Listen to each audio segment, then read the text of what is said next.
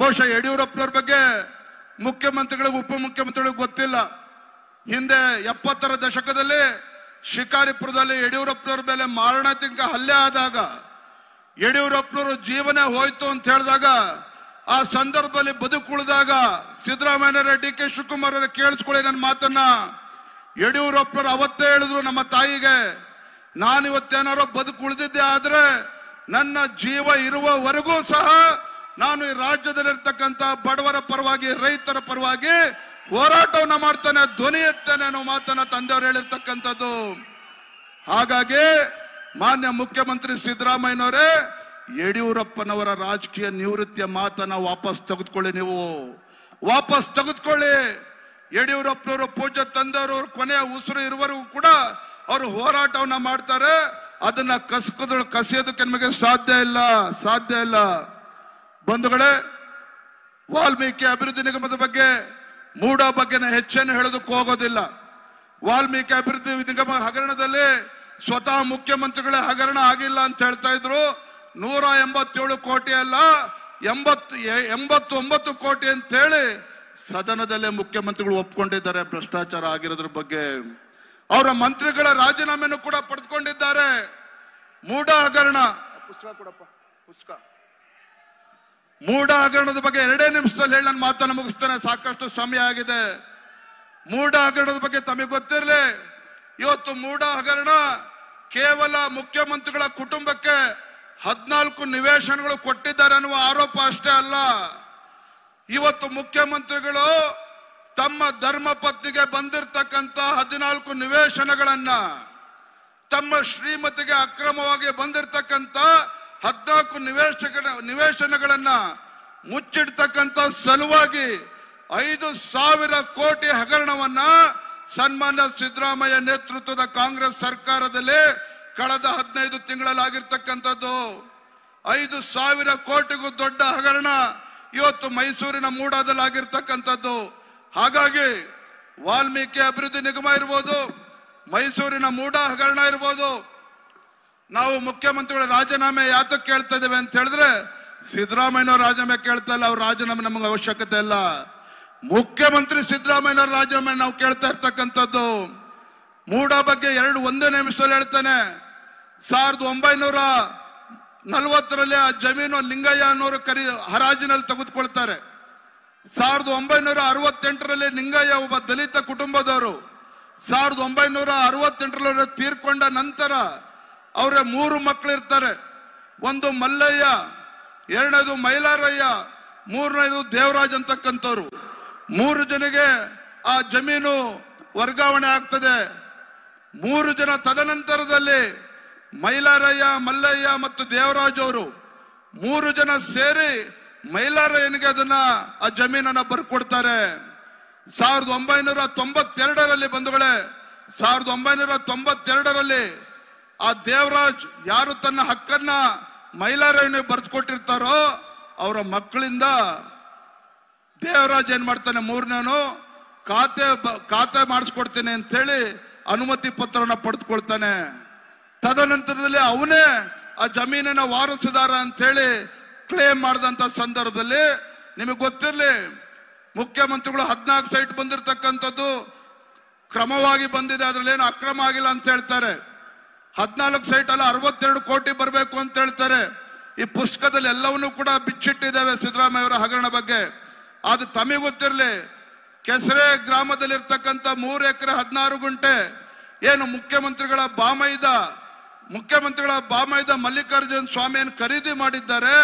ಆ ಖರೀದಿನೇ ಇವತ್ತು ಅಕ್ರಮ ಆಗಿರ್ತಕ್ಕಂಥದ್ದು. ಆ ಜಮೀನಿನ ವಾರಸುದಾರ ದೇವರಾಜ್ ಅಲ್ಲೇ ಅಲ್ಲ. ಯಾರೋ ಜಮೀನಿನ ವಾರಸುದಾರ ಅಲ್ಲ ದೇವರಾಜ್. ಅವನಿಂದ ಜಮೀನ್ ಖರೀದಿ ಮಾಡಿರ್ತಕ್ಕಂಥ ಮುಖ್ಯಮಂತ್ರಿಗಳ ಬಾಮೈದ ಅದೇ ಜಮೀನನ್ನ ಸಿದ್ದರಾಮಯ್ಯನವರು ಶ್ರೀಮತಿಗೆ ದಾನ ಮಾಡ್ತಾರೆ. ಹಾಗಾಗಿ ನಾ ಇಷ್ಟೇ ಹೇಳ್ತೇನೆ, ಸಾಕಷ್ಟು ಸಮಯ ಆಗಿದೆ. ಕೊನೆಯದಾಗಿ ಮಾನ್ಯ ಕುಮಾರಸ್ವಾಮಿ ಅವರು ಮಾತನಾಡಿರಿದ್ದಾರೆ. ನಾನು ಇಷ್ಟು ಮಾತ್ರ ಸಂದರ್ಭದಲ್ಲಿ ಹೇಳ್ತೇನೆ, ನಮ್ಮ ಹೋರಾಟ ನಮ್ಮ ಹೋರಾಟ ನಿರಂತರವಾಗಿರ್ತದೆ. ನಮ್ಮ ಹೋರಾಟವನ್ನು ಹತ್ತಿರ್ತಕ್ಕಂಥ ಕೆಲಸ ಯಾರು ಕೂಡ ಮಾಡೋದಕ್ಕೆ ಸಾಧ್ಯ ಇಲ್ಲ ಅನ್ನೋ ಮಾತನ್ನ ಈ ಸಂದರ್ಭದಲ್ಲಿ ಹೇಳ್ತಾ, ಇವತ್ತು ಇವತ್ತು ನಮ್ಮ ಪಾದಯಾತ್ರೆ, ಕಳೆದ ಮೂರನೇ ತಾರೀಕು ಪೂಜ ತಂದೆಯವರು ಸನ್ಮಾನ್ಯ ಬಿ ಎಸ್ ಯಡಿಯೂರಪ್ಪನವರು, ಮಾನ್ಯ ಮುಖ್ಯ, ಮಾಜಿ ಮುಖ್ಯಮಂತ್ರಿಗಳಾಗಿರ್ತಕ್ಕಂಥ ಎಚ್ ಡಿ ಕುಮಾರಸ್ವಾಮಿ ಅವರು ನಮ್ಮ ಪಾದಯಾತ್ರೆಗೆ ಚಾಲನೆಯನ್ನ ಕೊಟ್ಟರು ಮೂರನೇ ತಾರೀಕು ಶನಿವಾರದಿಂದ ನಾನು ಮತ್ತೆ ನಿಖಿಲ್ ಕುಮಾರಸ್ವಾಮಿ ಅವರು, ನಮ್ಮ ಪಕ್ಷದ ಎಲ್ಲ, ಎರಡು ಪಕ್ಷದ ಎಲ್ಲ ಶಾಸಕರು, ವಿಧಾನ ಪರಿಷತ್ ಸದಸ್ಯರು ಸಂಸದರು, ಎಲ್ಲರೂ ಕೂಡ, ನಮ್ಮ ಕಾರ್ಯಕರ್ತರು ಕೂಡ ಲಕ್ಷೋಪಲಕ್ಷ ಸಂಖ್ಯೆಯಲ್ಲಿ ತಾವೆಲ್ಲರೂ ಕೂಡ ಬಂದಿದ್ದೀರಿ.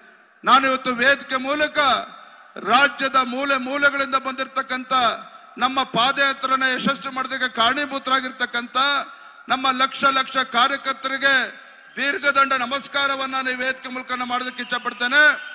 ಕೊನೆಯದಾಗಿ ಒಂದು ಮಾತನ್ನ ಹೇಳ್ತೇನೆ ಬಂಧುಗಳೇ. ಇವತ್ತು ನಮ್ಮ ಹೋರಾಟ ನಮ್ಮ ಈ ಪ್ರತಿಭಟನೆ ಹೊತ್ತು ಇಂಥ ಭ್ರಷ್ಟ ಕಾಂಗ್ರೆಸ್ ಸರ್ಕಾರವನ್ನ ಕಿತ್ತು ಒಗೆಯವರೆಗೂ ಕೂಡ ನಾವು ನಿರಂತರ ಹೋರಾಟವನ್ನ ಮಾಡೇ ಮಾಡ್ತೇವೆ. ನಿನ್ನೆ ನಡೆದಿರ್ತಕ್ಕಂಥ ಮೈಸೂರಿನ ಜನಾಂದೋಲನ ಕಾರ್ಯಕ್ರಮ. ಸನ್ಮಾನ್ಯ ಸಿದ್ದರಾಮಯ್ಯನವರು ಮುಖ್ಯಮಂತ್ರಿಗಳ ಮಾತನ್ನು ನಾನು ಕೂಡ ಕೇಳ್ತಾ ಇದ್ದೆ. ಪಾಪ ಬಹಳ ನೋವಿನಿಂದ ಮಾತನಾಡ್ತಾ ಇದ್ರು.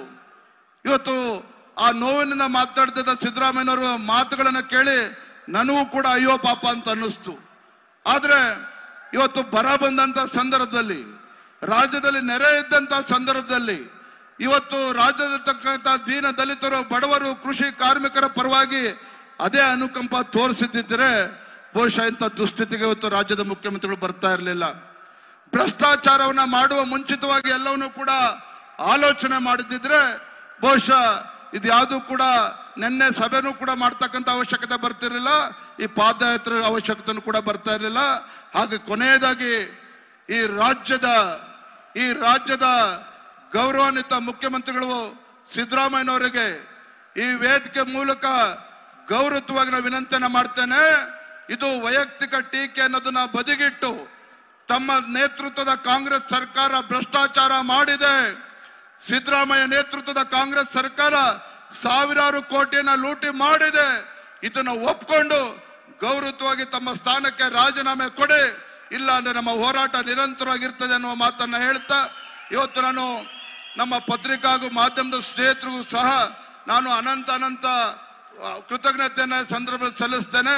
ಮತ್ತು ನಮ್ಮ ಪಾದಯಾತ್ರೆ ಬಹಳ ಯಶಸ್ವಿಯಾಗಿ ಆಯೋಜನೆ ಮಾಡಿರ್ತಕ್ಕಂಥ ನಮ್ಮ ಪಕ್ಷದ ಎಲ್ಲ ಕಾರ್ಯಕರ್ತರು, ಯಾರು ಹೆಸರು ಹೇಳೋದಕ್ಕೆ ಹೋಗೋದಿಲ್ಲ. ಯಾಕೆಂದ್ರೆ ಶನಿವಾರ ಮೂರನೇ ತಾರೀಕು ಪ್ರಾರಂಭ ಆಗಿರ್ತಕ್ಕಂಥ ಈ ಪಾದಯಾತ್ರೆ ಕೇವಲ ಐದು ದಿನಗಳು ಮಾತ್ರ ತಯಾರಿಯನ್ನು ಮಾಡಿರ್ತಕ್ಕಂಥದ್ದು. ಐದು ದಿನಗಳ ತಯಾರಿಯಲ್ಲಿ ಬಹುಶಃ ರಾಜ್ಯದ ರಾಜಕೀಯ ಇತಿಹಾಸದಲ್ಲಿ ಹಿಂದೆಂದೂ ಕೂಡ ಇಷ್ಟು ವ್ಯವಸ್ಥಿತವಾಗಿರ್ತಕ್ಕಂಥ ಒಂದು ಪಾದಯಾತ್ರೆ. ಅದು ಊಟದ ವ್ಯವಸ್ಥೆ ಇರ್ಬೋದು, ವಸತಿ ವ್ಯವಸ್ಥೆ ಇರ್ಬೋದು, ಕುಡಿಯೋ ನೀರಿನ ವ್ಯವಸ್ಥೆ ಇರ್ಬೋದು, ಸಣ್ಣ ಪುಟ್ಟ ಗೊಂದಲ ಆಗಿದ್ರೆ ದಯವಿಟ್ಟು ನಾನಲ್ಲಿ ಕ್ಷಮೆ ಇರಲಿ ಅಂತೇಳಿ ಸಂದರ್ಭದಲ್ಲಿ ಹೇಳ್ತಾ, ನನ್ನ ಕೊನೆಯ ಉಸಿರು ಇರುವವರೆಗೂ ಸಹ ಈ ರಾಜ್ಯದಲ್ಲಿರ್ತಕ್ಕಂಥ ಬಡವರು, ದೀನ ದಲಿತರು, ಕೂಲಿ ಕಾರ್ಮಿಕರು, ರೈತರ ಪರವಾಗಿ ಯಾವ ರೀತಿ ಸನ್ಮಾನ್ಯ ಯಡಿಯೂರಪ್ಪನವರು ಧ್ವನಿ ಎತ್ತಕ್ಕಂತ ಕೆಲಸ ಮಾಡ್ತಾ ಇದ್ರು, ನಾನು ಸಹ ಇವತ್ತು ನಾಡಿನ ಜನತೆ ಪರವಾಗಿ ನಾನು ಸದಾ ನಿಮ್ಮ ಜೊತೆಲಿ ಇರ್ತೇನೆ, ನಮ್ಮ ಕಾರ್ಯಕರ್ತರ ಜೊತೆಲಿ ಇರ್ತೇನೆ ಅನ್ನೋ ಮಾತನ್ನು ಹೇಳ್ತಾ ತಮ್ಮೆಲ್ಲರಿಗೂ ಸಹ ವಂದನೆಯನ್ನ ಸಲ್ಲಿಸಿ ನನ್ನ ಮಾತನ್ನು ಮುಗಿಸ್ತಾ ಇದ್ದೇನೆ.